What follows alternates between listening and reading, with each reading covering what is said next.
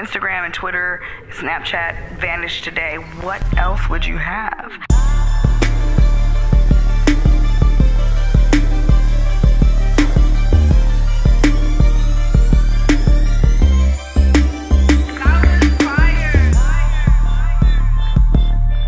Tell me, tell me a little background on who Zac Diles is. A lot of people don't know who you are, Yeah. and I'd like to get my viewers to understand who you are and what made you great, and how you got into real estate. Um, who are you? Shit. Well, um, thanks for having me. First and foremost, you know, it's my my guy. Um, so a little bit about me. I grew up in a small town, like three and a half hours north of Los Angeles, called Tulare. So it's a very small town. You know, more cows than people type scenario.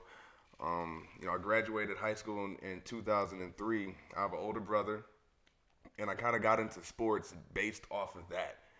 I was uh, I never played football, so you know I played in the NFL for, for for a matter of years, but you know growing up I never played football because I was always too big to play. I was the chunky kid growing up. So I played football in sixth grade, but I had to play with the kids two years older than me because I couldn't play with the kids my age. I weighed too much. Like you, like you, like you were overweight. I was Like- overweight. like, chunky. Yeah, I was I was the, I was the fat kid. You know what I mean? Like quote unquote the fat kid. I was him. He was me. Um, I remember sixth grade, my very first year playing football. We were playing this team called Strathmore, and I went out there and I got a stinger in my right shoulder. And you know, I mean, I don't know if you know what a stinger is, but it's like a it's a it's a pain, a shooting pain after you hit somebody. Like oh, and my shoulder went numb and it was hurting. and at that moment, I was like, man, football ain't for me. So seventh grade, I didn't play at all. Didn't even try eighth grade comes around, I'm like, okay, let me give this a go. You know, my brother was in high school now, and he was making a name for himself. And, you know, I'm the little brother. I was like, I want to do this shit too. I want to play. So I went out. And so the weight limit was 164 pounds. I weighed 182. Wait a minute. You weighed 182 pounds. 182 pounds. I mean, a muscle, right? really? What were you eating, dog? Everything. Everything. Everything. I was uh And what was your brother's weight? Oh, my brother was the the the athletic dude. You know what I mean? The short, six packed. You know what I mean? Not short, but you know the six pack abs, athlete. You know, fast, runs track, football, bat, all that shit. And so I'm the little bro. I was always athletic. Like I was always athletic. I played. Uh, ba- I mean, baseball. Baseball was my shit. But I was just chunky. So I, anyway, I, I, long story short, I missed the weight by three pounds. I had I had a month to lose the weight. Didn't lose it. I I missed the weight by three pounds. So now going into my freshman year, clean, you know, clean slate. Anybody can play. So that was my freshman year of high school was the first time I played football legit. And then you know things just started you know progressively picking up from there. I just I, I hit a growth spurt, and so I went from 5'8", like 180, to six foot, 185 in a matter of three and a half months. Wow. You know what I mean? So from after my freshman year football season, going into basketball season, I just hit a massive growth spurt, and then you know the rest is history. And then uh, Did uh, girls start noticing you that's at the that time? thing. That's the thing. That's bruh. You felt good about yourself. You know, you start feeling a little, feeling a little decent. Some girls start recognizing you and shit. You're like, I've been here though. You know what I mean? Like I've been here, but now you recognize. oh my me, god, like, you got oh, the ego. Okay, The ego came. not really the ego. Just felt more good about yourself, You feel though, right? good about yourself, and you're like, you're getting more, you're getting recognized a little more now. By like, like, like I thought, like I was. I was, I, mean, I was, I was here a month ago. You know what I mean? Like I was the same dude a month ago, but now all of a sudden, You got a six pack. you know what I mean? Because I didn't grew a little bit. Now, okay, whatever, fuck it. You know what I mean? So that happens. What'd your brother think about that?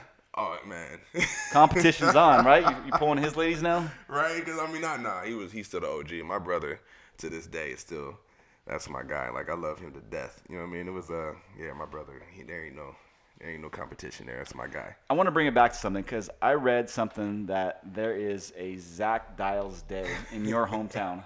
So there is. So, you know, um, you know, we could segue to that. You know, after high school, I ended up having to go to junior college. I went to Fresno City Junior College for two years. After that, transferred to Kansas State University. Went there for two years. And so in 2007, I ended up getting drafted into the NFL, seventh round draft pick. You know what I mean? Like Seventh round? seventh round, the last round of the draft. Wow. Seventh round, pick 218. Um, like I remember that day like it was yesterday. You know, you start around like the mid sixth round, you start fielding calls from teams. Talking about, yeah, we're gonna bring you in as like a priority free agent. This, that, and the third. You're like, fuck. Like I wanted to get drafted. You know what I mean? Like at this at that stage of my life, I was Yeah. like, shit, I want to get drafted. Fuck it, you know what I mean? But now I'm getting these, you know, free agent calls, this, that, and the third. I'm like, cool, whatever. And so I was at my best friend's house in Fresno, California. I'm sitting on the couch.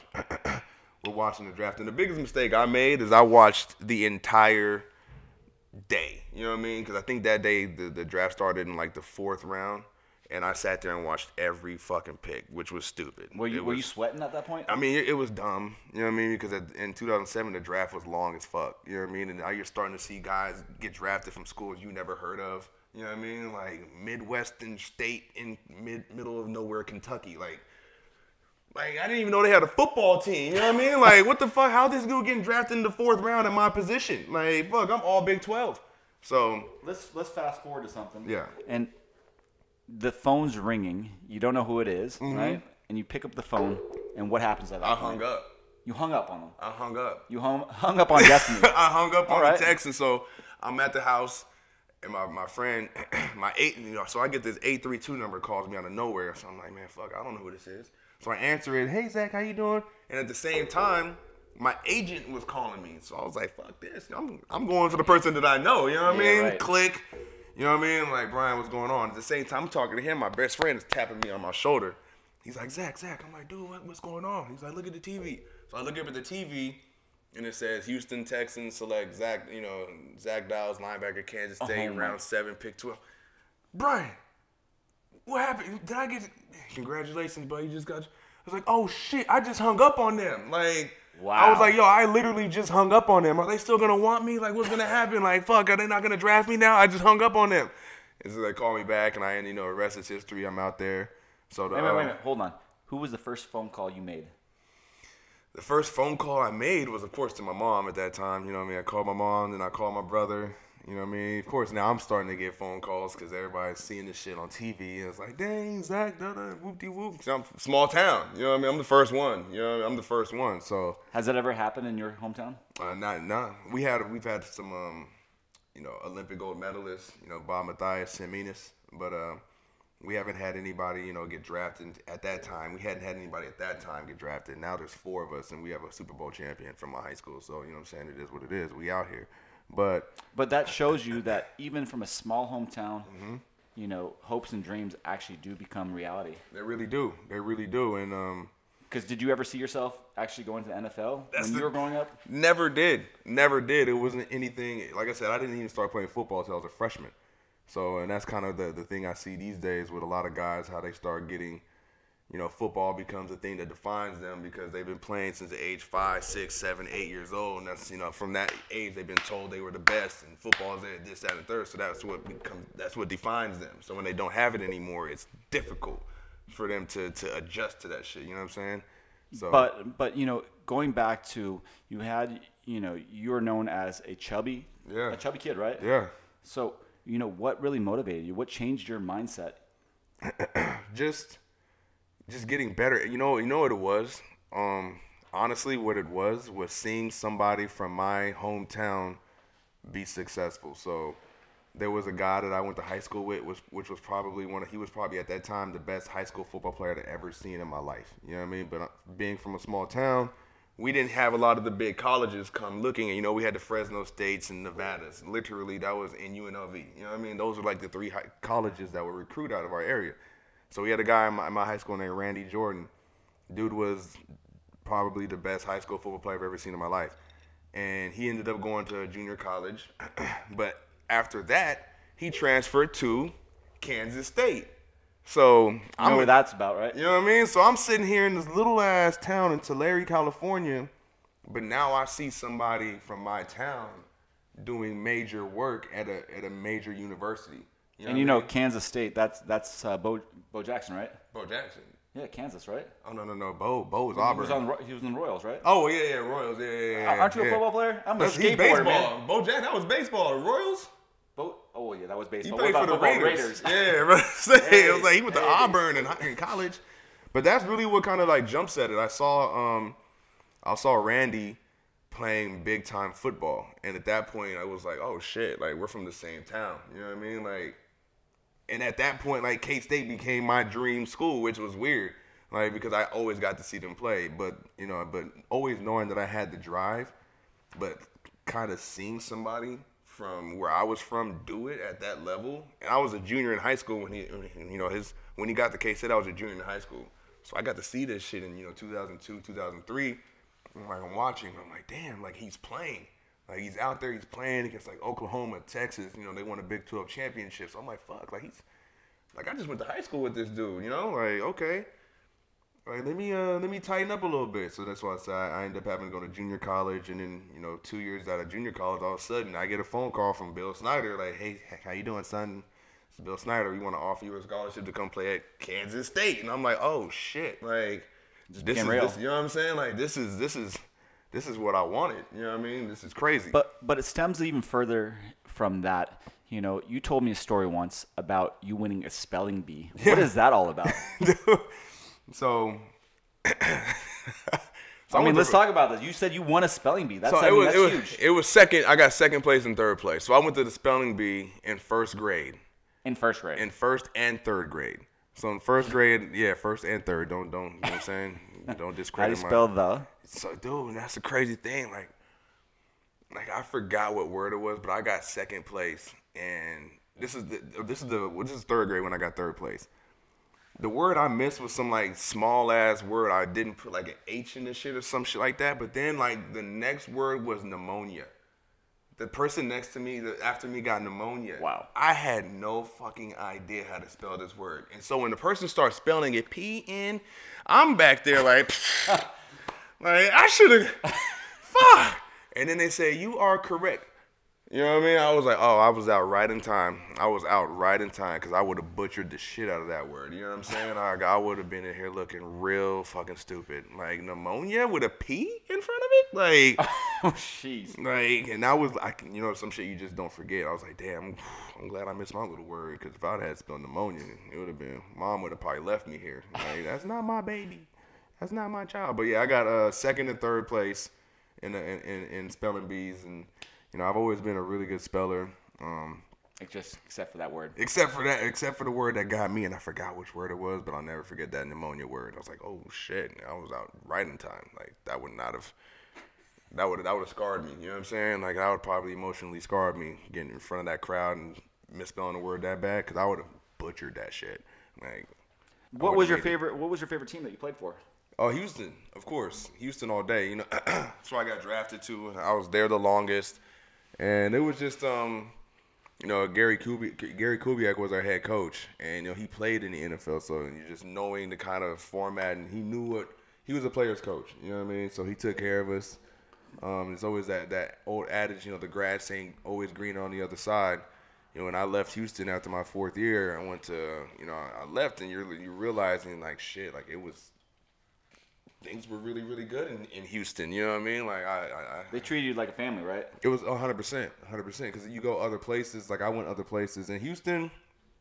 Like, you know, every Thursday we had like a linebacker dinner. So every linebacker we'd get together Thursday night. We're on the town, we're eating, and that that would turn into like the linebackers, D line, and a few DBs. You know what I mean? So next thing you know, we got 15 guys, 16 guys out on the scene on a Thursday night, eating, shooting the shit at a dinner. Tab comes out because that's when it was just the linebackers. These these dudes are some assholes.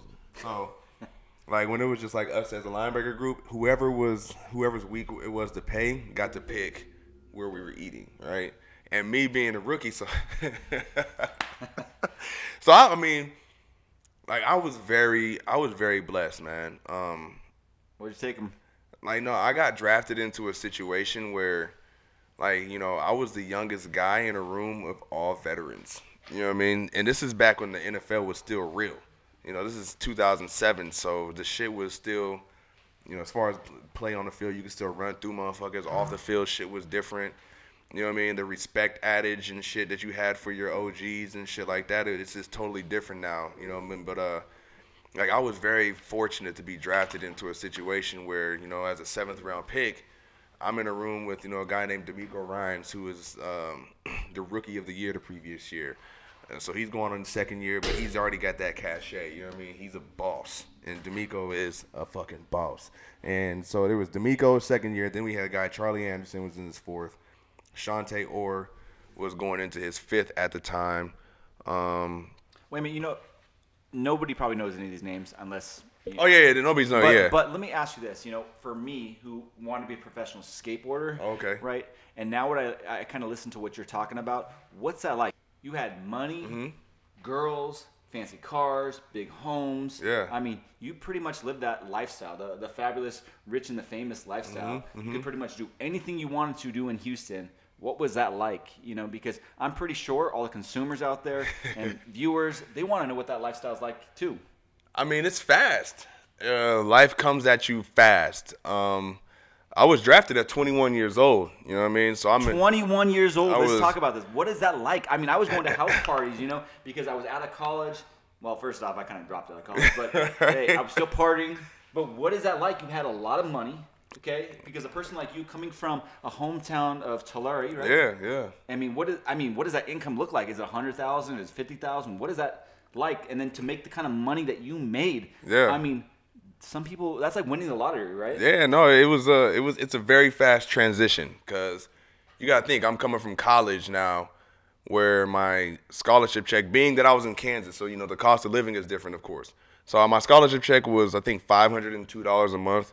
Um, you know what I mean? So you know after paying your bills and shit every month, you know about a, about a fourth of the month, you have you know sixty dollars left. You know what I'm saying? So now all of a sudden, I get drafted. Although I was like, like I said, I was a seventh round draft pick. So you signed my signing bonus wasn't something crazy compared to like our first round guy. My signing You just came was, off of five hundred dollars. Yeah. It doesn't matter. You, Yeah. you got a, a signing bonus of twenty thousand. You feel like you're balling because you're twenty one years old. like my signing bonus was fifty six thousand nine hundred and fifteen dollars. After taxes, I got like thirty eight thousand dollars. You couldn't tell me shit. You know what I mean? Like you couldn't tell me shit. Nothing. You the like, fuck? You, you, like, you like Soulja Boy, right? like right? You know what I'm saying? Like, bitch, why don't you guys is Drake? You know, like, no, like, I had you couldn't tell me shit, bruh. Like, I'm still, you know, at that I had just turned 22, but, but you still have to make the team though. So that's the thing. That's the thing that's that people don't understand. Like, yeah, I was drafted. You know, you sign a four-year contract worth X amount of dollars, but you still have to make the team before you get that bread. The So only- wait, you get drafted and you still have to get on the team. you still have to make the team. See, so I didn't know that. Yeah. So my that fifty six thousand dollars that I signed, my signing bonus, that was all I had guaranteed to me, which was thirty eight thousand after taxes. You know what I mean? So going into training camp, you're like, okay, you know, my rookie salary was two eighty five. So in order to make that salary though, I have to make this team. I have to beat out these guys who are in here trying to, you know, put food on their children's table. You know what I mean? Pay for private schools that their kids are now in. Who knows? You know, who knows what? You know, who? How many people or households these guys taking care of? I'm coming in trying to compete with this guy for a job now. So I do that. I go out there, and you talk about the drive. You're 22 years old. Yeah. Right at the time. Yeah. You know, and you know you have a lot of competition. Mm-hmm. What is that like? Are you laser focused, saying I'm gonna get Oh, yeah. on the team? Oh yeah, laser because. so it was um it was a scenario where I, I I- I got in there and I started making some plays in practice. Right, I'm starting to to be noticed on tape and. Coming from college, I was that guy. You know what I mean? I'm the starter. I'm that motherfucker. You feel me? Now I get drafted. Now I'm that motherfucker. I better be playing special teams. Like, you better get really, really comfortable with your special teams coach. So now, now it's training camp. You know what I mean? I get there, it's training camp. We got our pads on and shit now, and like coach, you know, coach, hey, I need a body. I'm here, coach. Coach, I need. I'm here. What do you need? I'm, I'm right here. So you know, always being on tape, always being there. I need. Hey, what the fuck you need? I can. So long story short, I go out there one day. This is like the fifth day in the training camp, my rookie year, and I've I've been like I said, I've been doing, I've been putting some stuff on tape. I've been, I've been doing well. The, the we're we're stretching before before our morning practice, and the general manager comes over next to me. He he kneels down next to me. So he's he's talking at me, but not you know he's talking to me, but not looking at me.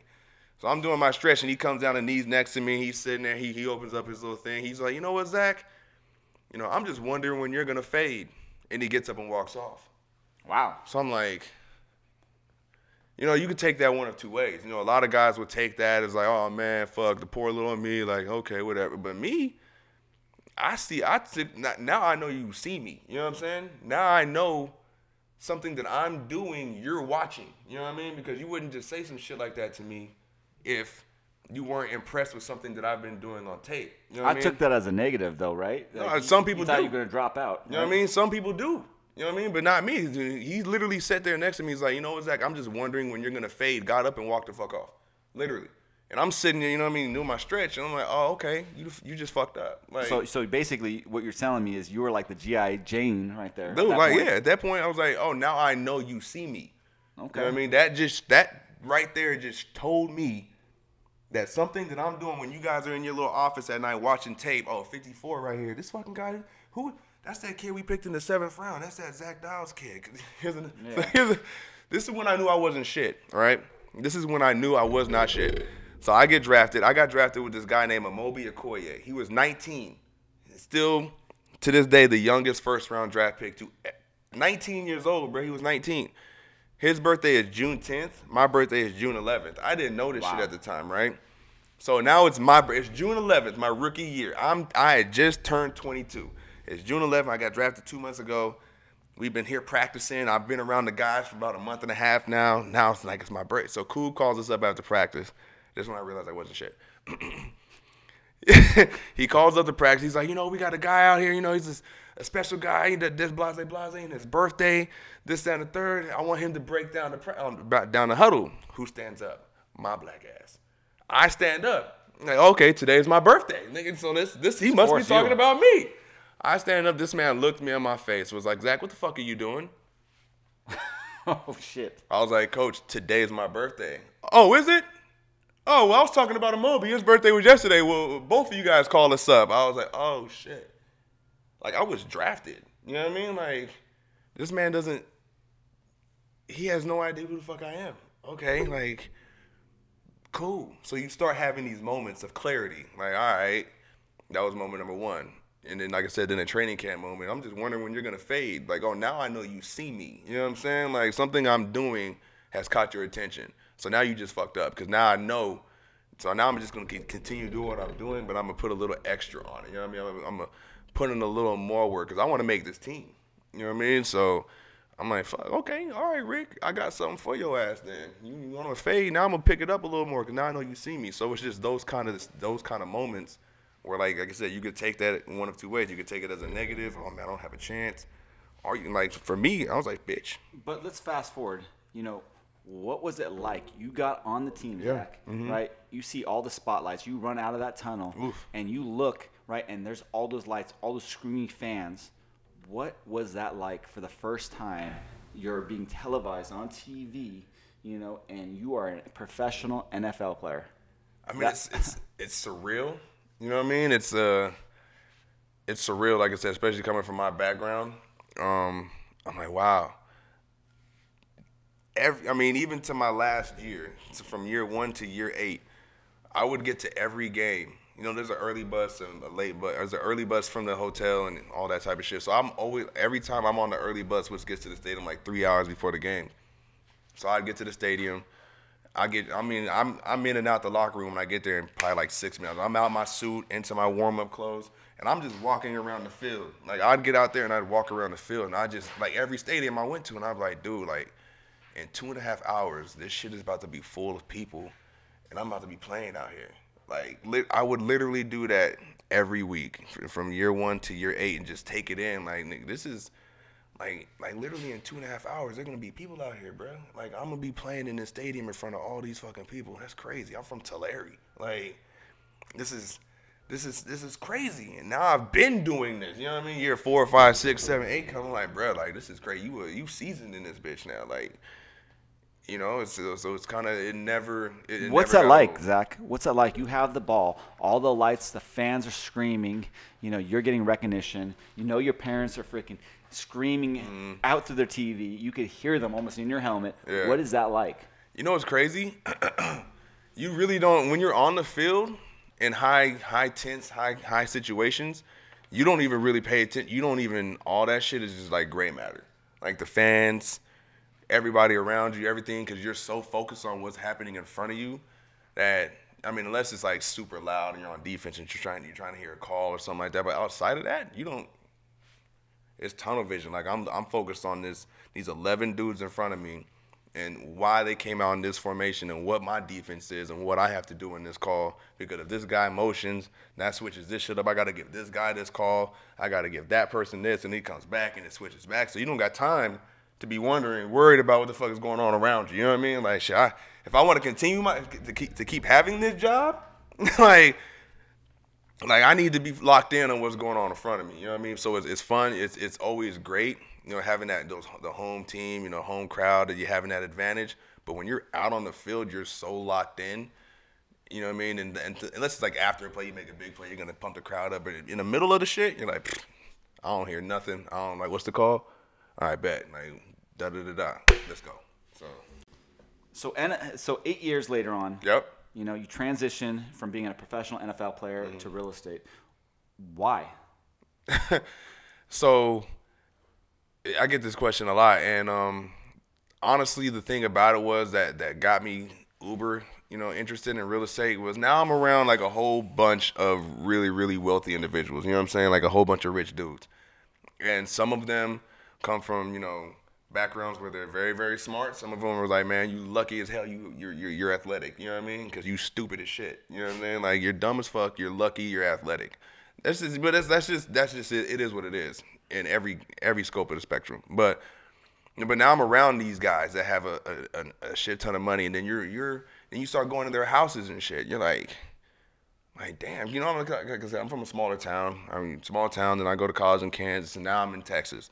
So so yeah, so I started going to a bunch of like you know I'm around all these wealthy individuals. You start going to their houses and things like that, and I remember so I had a teammate named Mario Williams, the number one overall dra- uh, pick in the draft, you know, in 2006 and I went to his estate. You know what I mean? I'm like, I'm looking at this house, and it was like, it was it was fucking stupid. You know what I mean? He's taking We're talking about massive. massive, stupid. massive. Like he's walking me around this shit, and there's like an echo, and you know, I'm like Mario, like, What? like, how, why, where, like, You feel like you're in a warehouse. You know what I'm saying? I'm like, what the fuck is this? Like, this is your house, bruh. Like, this is where you live, my nigga. Like, Like, okay. you have tracking devices on your children, Like- like your, your your girl. And you know, like I say, knowing the, the, the, the scope of our, our, our schedule and shit, I'm like, bro, how the hell did you have enough time to find this? Like, what are you?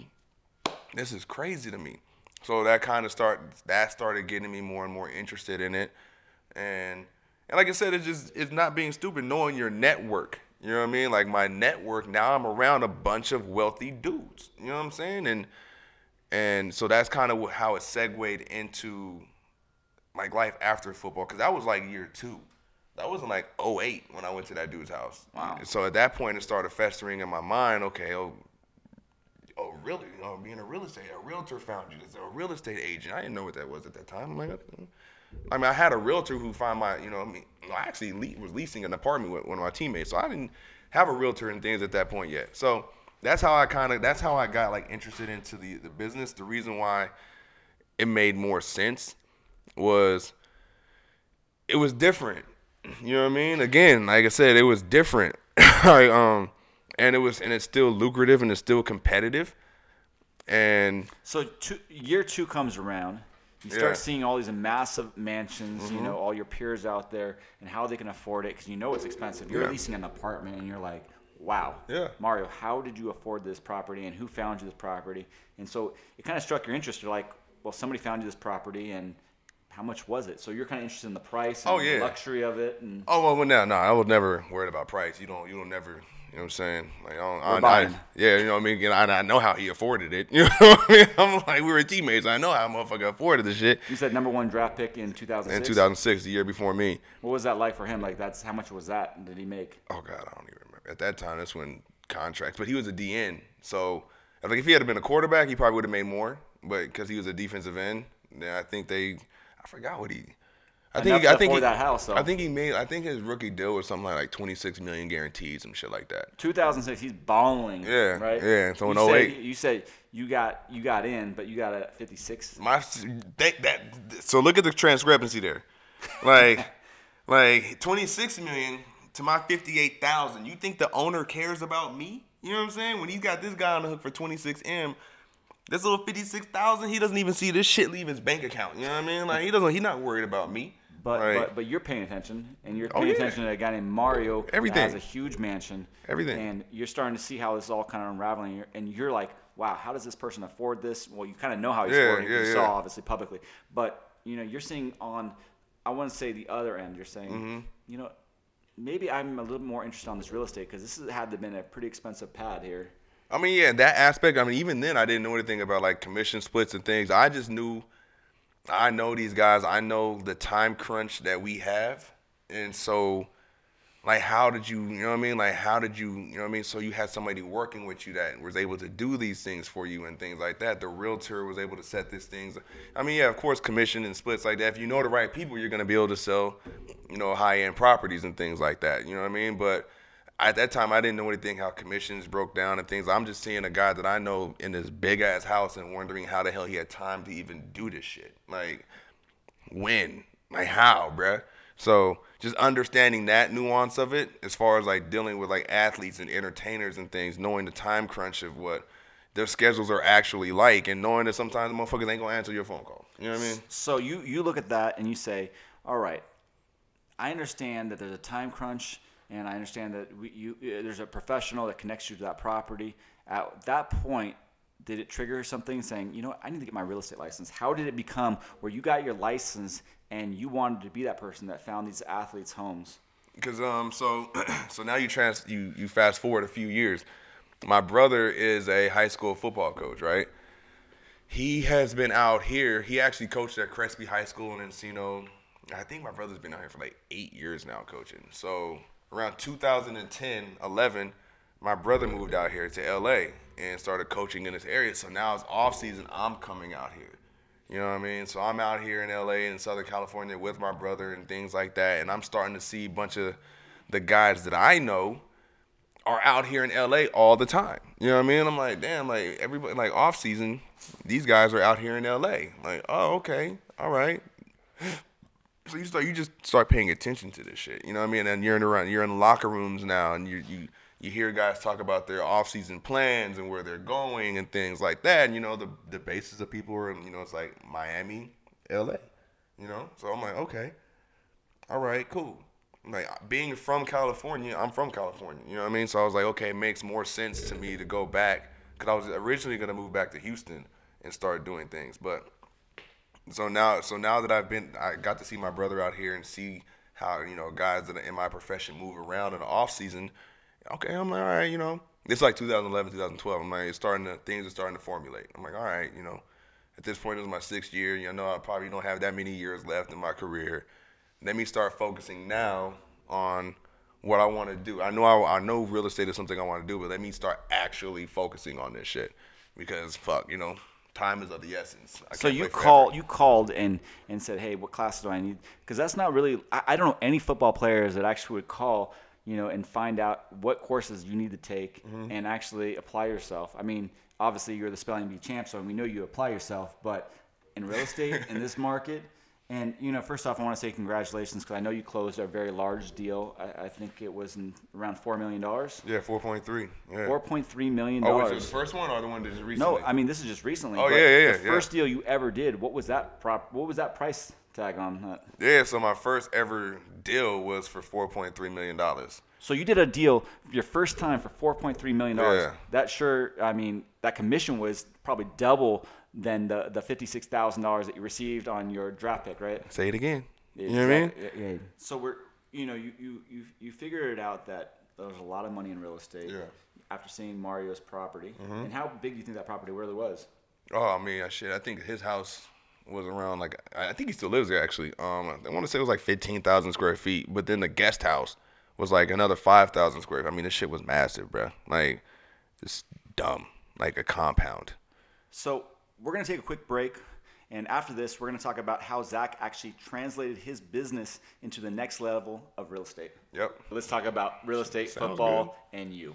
Let's do it. It's All on. right. So you segue into the career of real estate. You Yeah. got your license. What's that like? I mean, it was uh, it's a di- it's a it's a different transition, you know, for sure. like I said, the reason why uh, real estate intrigued me because it was different. Um, most guys, you know, in that profession, that leave that profession, go into you know coaching, broadcasting, or like public speaking. You know what I mean? That's like the the main three things that dudes do when you retire from from you know NFL or any professional career at that at that status. But um, you know, real estate was something different. Was something I knew I could still have that competitive edge. You know, at the time, you know, it was like, oh, this shit is gonna be dope. I know a lot of people. Like just because I know a lot of people, this shit is gonna be it's gonna be easy, and then you realize real quick that that's not the fucking case. You know what I mean? It's not a team player sport like you would think. I mean, just not even in that aspect. Just the fact that because people, I know a lot of people with money and shit like that. It's like, oh, I'm gonna be a, I'm gonna be the top agent, and because I know a whole bunch of people, this, that, and the third. But it's like then you, you soon realize, like, bro, it ain't, you know, it don't really work like that. So your first deal, from what I can recall, Mm-hmm. was with your former uh, NFL player Joe Haden, right? Yeah, yeah, yeah. So Joe and I were teammates in Cleveland in my last year. So, um, you know, being being able to build that relationship and things like that's another thing that was important. You know, it's uh, you know, it's, Joe and I were only teammates for about four months. You know what I mean? So in that four months time span, you know, I was able to leave, you know, a, a, good enough impression on him to where when I retired, he was like, you know, this is the guy I want to work with you know, even though he's new in the business, you know, he Joe had his his pick of any agent he could have worked with, you know, in Los Angeles at the time. And you know, me being new into it, you know, I got a phone call from him one day. He's like, "Oh yeah, me and Moo, his wife, they call her Moo, Sarah. You know, yeah, me and Moo were thinking about moving to LA, bro. This, that, and the third. It's like, oh shit, hell yeah, let's do it. You know what I mean? So that was huge. That was that was, and Joe will forever because they didn't have to do that. You know what I mean? He didn't have to, especially at that time in my career, but I'd only been in real estate for a matter of months. You know what I mean? So to get a phone call from him, and and actually, you know, went through it. So we we you know, the season ended, off season came, and you know they came out here. That's the reason why I got into the business because a lot of these guys come out to L.A. Whether it's just to train or not, a lot of people live out here because of the cost of living, and not a lot of people in that profession make enough money to live out here. You know what I mean? So That's you know, loyalty, though. I yeah, hundred percent, right? hundred percent. So the fact that he, you know, a guy that has enough, you know, equity to come out here and actually live and be comfortable living out here in Los Angeles, you know, reached out to me, you know, so early in the game was was huge. So we ended up doing that deal for four point three million dollars, and I keep, I think that's where that kind of fucked me up. You know what I'm saying? Because it was so seamless. It was the, you know, it's my very, you know, you know, when I did, you know, when I first started working with you, I did that lease for Missy Elliott, and Yep. so that was my very first deal. But hey, that first deal you did was what 27 bedrooms. It was a huge Right, yeah. house. So it was like for thirty five, you know, but that, but but how it went, remember it got shit got. Wait a minute, wait a minute. So you're saying I was your first right, yeah. lead source of a deal? Right. So, but remember how that shit went? It got crazy because at the last second we were supposed to get that one house, but because it, it didn't go over the weekend, they didn't sign the paperwork that they gave it to somebody else. So I had the last second find another spot. And that's when you found Weed Lake. budget. The Weed whereas- Lake house, yeah, right? the weed, and then I found the Weed Lake property for them. How much was that for? For thirty five thousand dollars for like three days and shit like that. You know what I mean? So. That's incredible. You know what I mean? So that was my very first deal. So you kind of start getting okay, this how deals can fall apart. Oh, I remember that deal, know what I right? mean? Because didn't she say the security guard called or something, or, or was looking through the garage? Somebody was looking in that so your first deal was Missy, Missy Elliott, Missy Elliott, and which was with me, and Which then was you. and then you did Joe Haden. and then I did, and then I backdoor my first sale was with Joe Haden. so um, so that experience with Joe kind of fucked me up, right? Because it went so easy, and then all of a sudden there was a few deals. So uh, after that, I got into escrow at two point nine two five with a couple that I met at an open house. We we we get a uh, the contract all negotiated, all everything is good, and you know it goes down to doing the uh, the walkthrough. I mean the the first home inspection, and you know the EMD. My clients never submitted the EMD, and this is you you have three days to do the EMD, right? So we're sitting at What is the EMD? Because a lot of the our audience. money, the earnest money uh, deposit. So your, your your initial deposit into escrow that Got it. starts up your escrow. So it's usually like three percent. You know what I mean of the of the. pr- So we're supposed to do this this EMD. Three days into it, the shit never gets done. We're sitting at the home inspection. I'm with my client. The we're there. She pays for the home inspection, five hundred dollars, all that shit. Next thing you know, that deal falls through. Have to close escrow. And then you double back, you know, a few months after that. So that kind of. I was like, fuck, whatever. So they never put the deposit Yeah. in escrow. Why do you think that deal fell through? Why would they even go home? Why would they even go through the home inspection? That's what I want to know. And that's that was my biggest question. That's when you start really learning a lot of shit about this business. You know, these were people. There were no red flags. with- within like I said, I met them at an open house, vetted them. you know, asked all the you know the real the, the questions you need, showed them multiple properties. They they gave me proof of funds, all that shit. You know what I mean? Um, and so when it came down to to to, to deposit the money, the first excuse was oh the it didn't get transferred right, and then you know they send me a, a confirmation number. The confirmation number is wrong. Um, Why would somebody waste your time? it's it's weird as fuck, especially at that price point. And so You said how much? Two it was two nine. point right under three million dollars, and then all of a sudden that so that that's strike two, and like I said, now I'm back and forth with the listing agent, and that shit's starting getting a little hectic. And That then- makes you look crazy as it hell. makes me look bad, and then all of a sudden at the last day, I'm I'm like, look, I'll go to the bank with you guys to do this shit, and then all of a sudden I'm get, I'm driving to the bank. The, my my buyer calls me, he's like, oh yeah, you know the IRS froze my account, I can't do anything. I'm like, what the actual fuck? You know what I'm saying? Like, But why spend the money on a home inspection? Spent the money. and waste your time, you know, and, and just not go through the deal. That then- makes no that makes no sense. just disappeared, and disappeared. who are these people? this some a couple that I met. They owned McDonald's. You know, they had a that's you know McDonald's. We own McDonald's. Like now, thinking back in hindsight, like what's this shit? You know what I mean? So now it gives you a lot of shit to to look for. You know what I mean? So So definitely not McDonald's. Switch it up to Taco Bell. fuck. You know what I mean? So and then I had to end up canceling another escrow at four point two million dollars. Um, kind of the same scenario. Not really the same scenario. Get into uh, escrow. Um, and it just kind of fell apart from that point. You know, a lot of things. You know, you know, with, when you have deals of this magnitude, a lot everything has to fall in line. You know, everybody has to be on the same page, and not everybody with that deal was on the same page as far as like clients and you know families and things like that. So it just fell apart. You know what I mean? So that's like seven, you know, almost seven point three million dollars in escrows that I've had to cancel over the last year and a half. You know and what that I mean? kind of hurts because you know Kind of. you, you, you're not the kind of guy to say you know I'm gonna I'm gonna be okay with this. No, I want to find the yeses, and I want to hit you know well I was gonna say hit the home run, but you know I I'm, I want to score. that shit hurt. You know what I mean? Because this now this is your this is so now you're in the position where you know you're doing deals, and now especially the magnitude we do deals, and these these other listing agents per se could be like, oh well, this guy brings buyers, but they don't close. You know what I mean? So now you're you can get that kind of reputation. yeah. So when it comes to a, a deal where you have multiple listings on it, and then all my so my name pops up. Maybe the person's like, oh well, you know we liked it, but his buyers have a his, his buyers have a tendency to not close. You know what I mean? So that shit, I don't I don't like it. I don't like it. You know, I don't I don't fucking like it. So you're a novice agent Mm-hmm. turning into a rock star agent. What's next? It was a for me. It was a matter of just getting out there and grinding and doing the things that agents in this business do. You know what I mean? I just didn't. I never wanted the stigma that shit got handed to you. So it was like I, I dove in. You know, the the the door knocking, the marketing for aspect of it. The biggest thing for me what helps is open houses. So You love open houses. I, fucking- I- see you yeah. at every open house. just I- because I have to be I have to be smarter about what I do. You feel me? Because like nobody there's eh, there's not many people in the luxury market that look like me. It just is what it is. definitely not. There's not a lot. So what I have to put myself in front of people to be like, okay, this is what I do. So how do you do that? Open houses.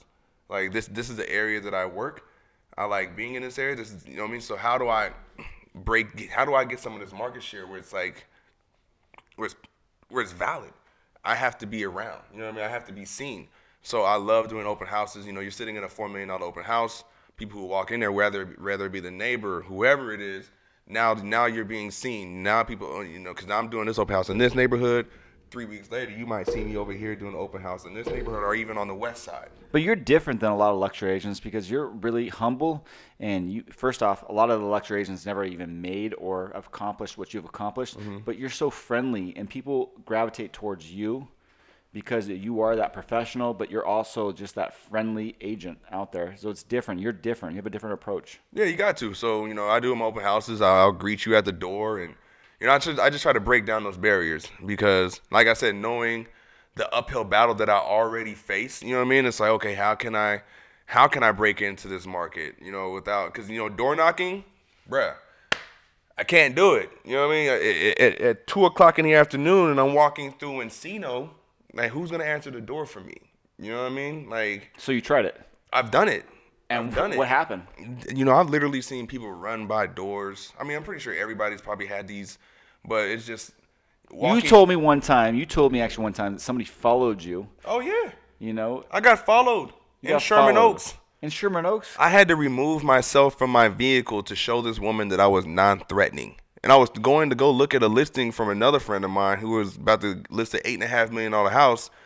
And this woman followed me around the neighborhood, bruh. Like she literally, you know, pulled up behind my car and everything, followed me. So this is shit that I have to deal with. Don't you have an expensive car? That's like, what I'm. Yeah, bruh. Like I'm like, but it doesn't clean matter. cut, you know, real estate professional, ex NFL player, and this person followed you. Maybe she was a fan. It doesn't matter. All they saw was, you know, I'm in, I'm in an all black car and I'm an all black dude driving around this all white neighborhood. And you got an all green cash. You know what I mean? So it's like, like okay, he's not supposed to be here.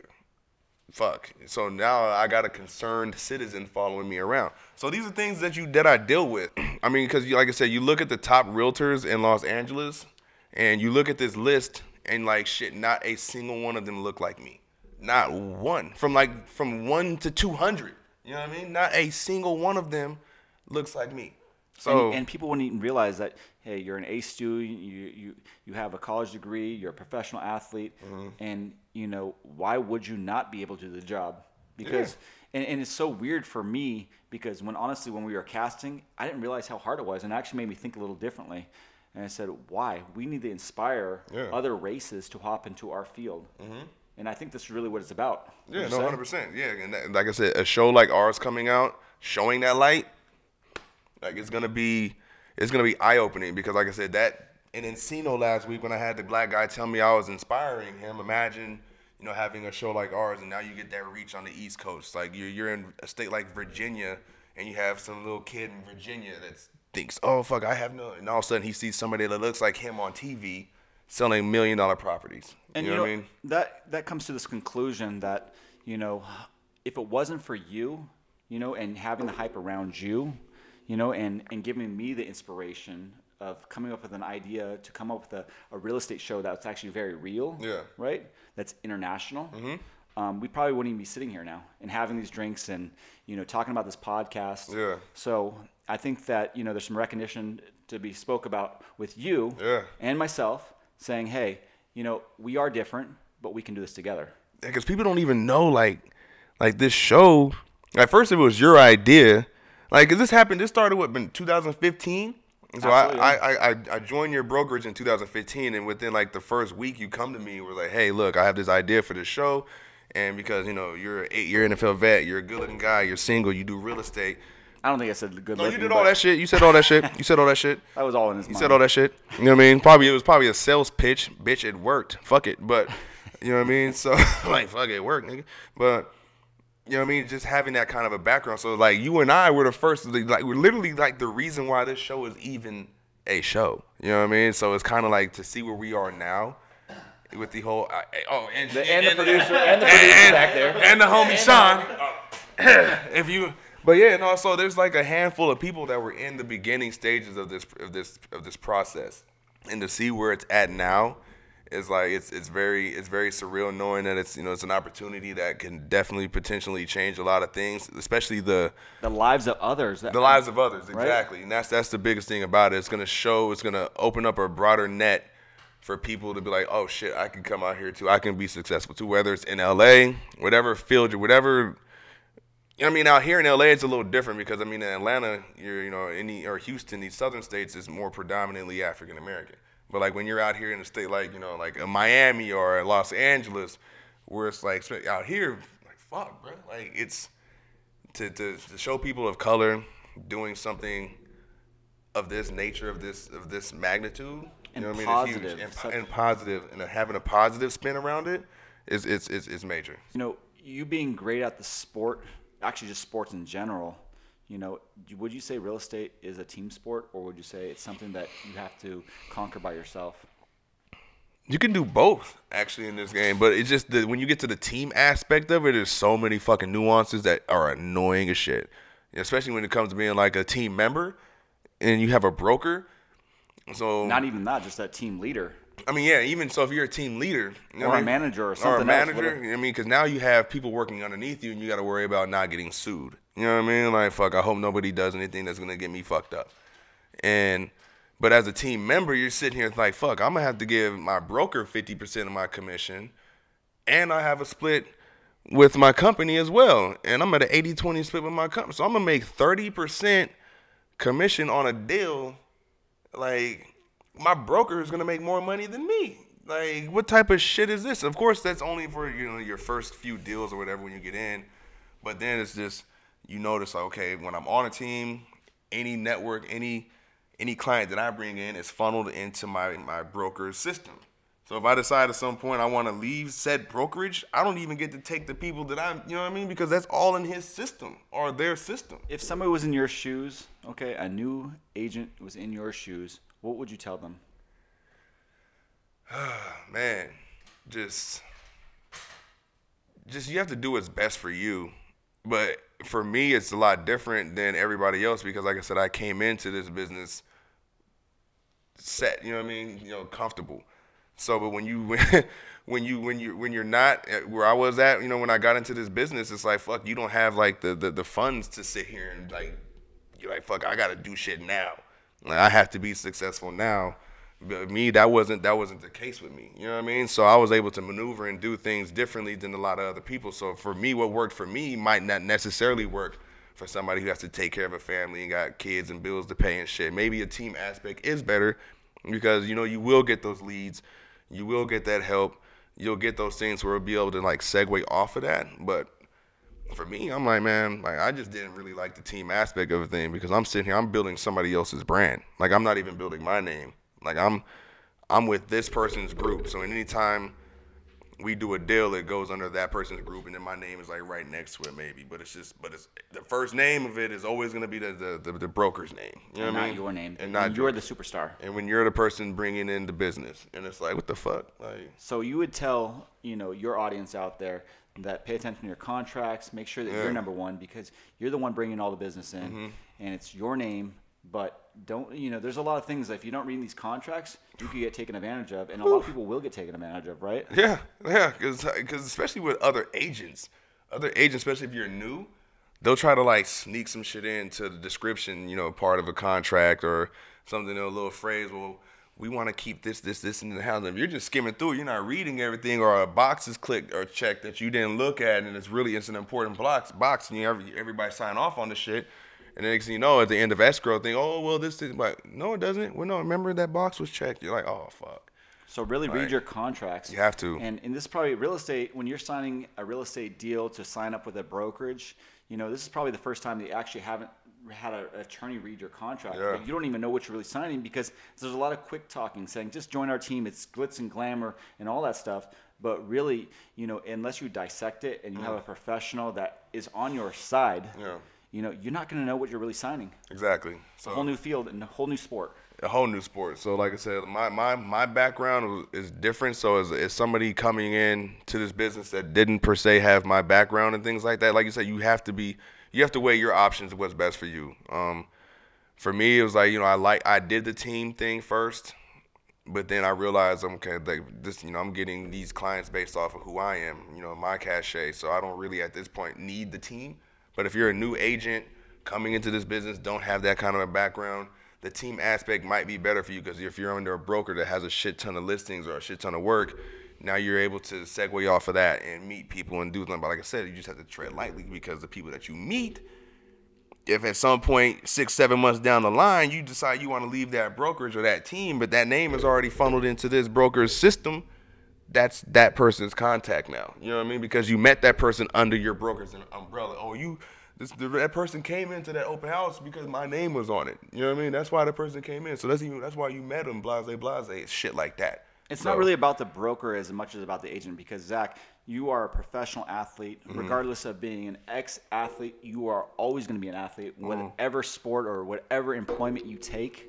You know, so it's always going to be focused around who you are as a person because you're a winner. Hmm Yeah, and that's the thing. it. And that's the thing too. Like the name on the brokerage is just a name. Um, like I was, I was talking earlier, we got a guy that works in a guy named Jordan Cohen who does numbers, numbers, massive amount of numbers, and he works for Remax. You know what I mean? Like, He's a nice guy too. and he's not, yeah, he's like he's one of the the main guys that used to pick, like, still picks up my phone. Like, I would come in, I would get in, I got into this business, so you reach out to the heavy hitters, heavy hitters. I reached out to damn near all of them. One of them answered the phone. Was like, "Oh yeah, I don't take calls like this." Click. You know what I mean? He's So- a nice guy. You know what I mean? But then Jordan, you know, I'm calling Jordan, and he he he'll he'll take my phone call. He'll stay on the call with me. You know, he'll all those things. So I'm like, okay, Jordan, I fuck with you because I've I've re- like when I first got into the business. I mean, I even tried to do a um like a like a like, like a teaching seminar. I paid for the classes and everything with one of the high one of the top brokers at the time, like a seminar.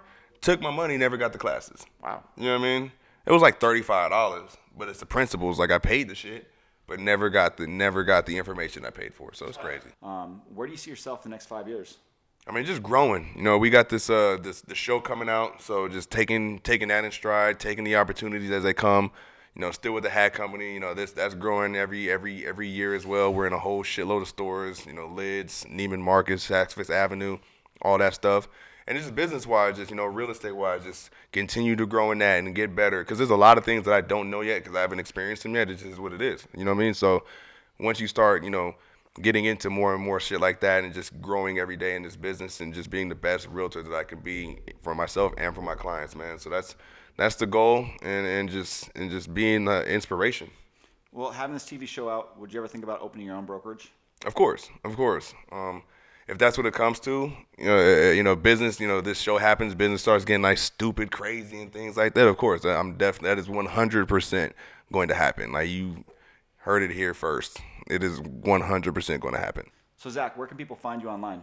Well, I have a uh, I have Twitter. It's just Zac Diles, Z A C D I L E S. Uh, Instagram, I use more Z Diles underscore real estate, and that's really about it, man. I don't have all the other, you know, I don't have anything else other than outside. I have a Facebook page, Facebook business, uh, Facebook.com backslash tackle uh, tackling your real estate, tackle real estate, and um, that's really it. At this, you know. All right, so wrapping it up, if you like what you saw here today, please give us a like or subscribe to our channel. Leave us a comment if you have something that you want to ask Zac personally. I'm sure he'll uh, write back to you. 100%. And um, I think that's a wrap.